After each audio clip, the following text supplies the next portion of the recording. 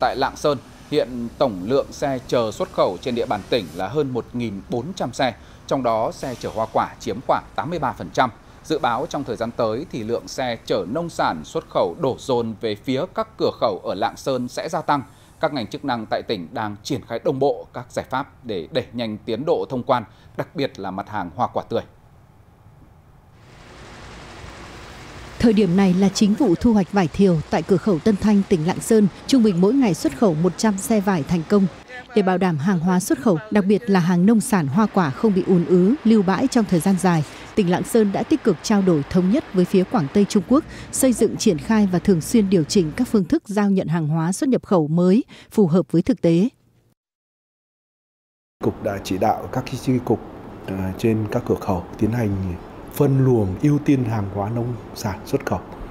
à, nhất là tại các thời điểm ùn tắc thường xuyên uh, nắm theo dõi tình hình trên địa bàn à, kịp thời cung cấp các vướng mắc cho doanh nghiệp liên quan đến thủ tục hải quan hạn chế các cái chi phí cho doanh nghiệp cũng theo Cục Hải quan tỉnh Lạng Sơn, hiện nay đối với thủ tục hải quan để xuất khẩu nông sản hoàn toàn không có gì vướng mắc. Về cơ bản, các mặt hàng nông sản đã được hệ thống hải quan xử lý thủ tục tự động 100% và hoàn thành trong thời gian rất ngắn, khoảng 3 đến 4 giây và gần như 100% các lô hàng nông sản, nhất là trái cây tươi xuất khẩu không thực hiện việc kiểm tra thực tế hàng hóa. Vì vậy hiện nay, vấn đề ách tắc nông sản tại cửa khẩu tỉnh Lạng Sơn chủ yếu liên quan đến giao nhận, điều tiết phương tiện hàng hóa qua lại biên giới. Thưa quý vị, từ ngày mùng 5 đến ngày mùng 7 tháng 7,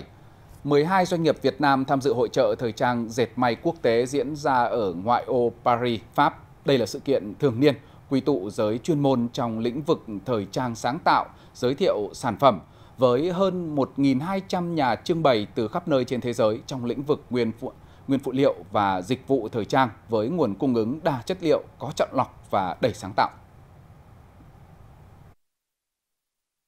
Các doanh nghiệp thuộc ba miền của Việt Nam trưng bày và giới thiệu những sản phẩm đa dạng về mẫu mã, công năng sử dụng, phù hợp xu thế thời đại với chất liệu thân thiện môi trường và đạt chất lượng cao tiêu chuẩn quốc tế. Trong cái thời gian mà sắp tới thì chúng tôi đặt ra mục tiêu là năm 2022 sẽ xuất khẩu khoảng 43,5 cho đến 44 tỷ USD và cho đến kết quả 6 tháng thì chúng tôi đã đạt được cái mức là 20 phải 22,3 tỷ USD. Đấy, và như vậy nếu như với cái đà mà phát triển như hiện nay từ đầu năm đến nay thì khả năng cái mục tiêu cho năm 2022 là sẽ đạt được.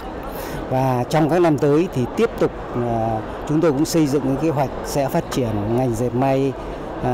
tăng ở cái mức độ vừa phải nhưng mà chủ yếu tập trung vào phát triển bền vững, xanh hóa ngành dệt may. Ngay từ lúc mới mở cửa, gian trưng bày này đã tiếp đón nhiều lượt khách tới xem sản phẩm và đặt vấn đề hợp tác. Cũng như nhiều doanh nghiệp khác, công ty đã đầu tư rất nhiều vào công nghệ, thiết kế mẫu mã để đáp ứng yêu cầu khách hàng quốc tế. Khi mà đến ờ, đến với thị trường châu Âu thì ờ, bọn em cũng kỳ vọng là ờ, vừa rồi Việt Nam có có ký cái hiệp định FTA, hiệp định thương mại với cả châu Âu thì mong muốn là cái thị phần tại Việt Nam sẽ tại Việt đối với người Việt Nam đối với thị trường châu Âu sẽ ngày càng một nhiều hơn. Trong 3 ngày diễn ra hội trợ, có 6 buổi trình diễn thời trang cùng các hoạt động quảng bá sản phẩm và hội thảo. Hội trợ này được xem như là nơi giao thoa của toàn bộ ngành công nghiệp thời trang quốc tế trong lĩnh vực sợi, vải, da, thiết kế, phụ kiện và quần áo. Có hàng nghìn chuyên gia từ hơn 100 quốc gia trên thế giới đến chia sẻ ý tưởng và tạo ra những bộ siêu tập mới. Đây là cơ hội cho các doanh nghiệp dệt may Việt Nam tiếp cận gặp gỡ các khách hàng tiềm năng, tìm hiểu xu thế tiêu dùng, xu hướng thời trang trên thị trường Pháp và EU.